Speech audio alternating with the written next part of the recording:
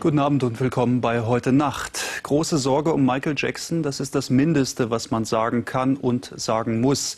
Der King of Pop wurde mit Atemstillstand in dieses Krankenhaus in Los Angeles gebracht. Er sei tot, wurde inzwischen sogar auf einer Internetseite gemeldet.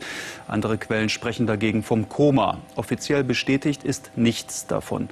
Nach Medienberichten soll er allerdings nicht mehr geatmet haben, als Sanitäter ihn in seinem Haus fanden. Noch vor Ort seien Wiederbelebungsmaßnahmen eingeleitet worden, heißt es. Melanie Hillmann ist uns telefonisch aus Los Angeles zugeschaltet. Was ist über den aktuellen Gesundheitszustand Michael Jacksons bekannt? Aktuell kann man sagen, alle machen sich Sorgen. Es ist tatsächlich vermeldet worden auf mehreren Internetseiten, dass er bereits gestorben ist. Wir sind vorsichtig mit der Meldung. Äh, wir haben jetzt vorhin von einem angeblichen Arzt gehört, dass er nur im Koma liegt, noch im Koma liegt. Er ist noch nicht tot. Das äh, sagt zumindest ein Arzt. Eine Kollegin von mir von einem amerikanischen Network hat mit dem Vater Joe Jackson gesprochen, der sagt, Michael Jackson geht es wirklich sehr, sehr schlecht. Eine große Comeback-Tour stand ja eigentlich an, wurde aber gerade erst um wenige Tage auf Mitte Juli verschoben.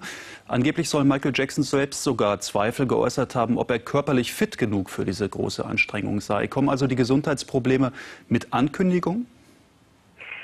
Mit Ankündigung kann man vielleicht sogar fast unterstreichen, weil Michael Jackson immer wieder äh, Probleme hatte mit, äh, mit, mit, äh, mit Tablettenmissbrauch. Er hat er war grundsätzlich sehr angeschlagen, nicht nur damals bei, bei dem Gerichtsprozess vor drei Jahren, sondern auch in der letzten Zeit immer wieder mal im Rollstuhl gesehen worden.